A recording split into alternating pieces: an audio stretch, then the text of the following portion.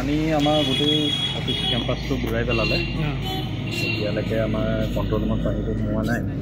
আৰু এতিয়ালৈকে বৰ্তমান আমি কিছু কিছু জেগাত বিদ্যুৎ কৰ্তন কৰিবলগীয়া হৈছে বিশেষকৈ বালিপাৰাৰ চেণ্টাৰ এৰিয়াখিনি কাৰণ আমাৰ আই ডি পিছফালে গোটেইখিনি জেগাত পানী হৈছে।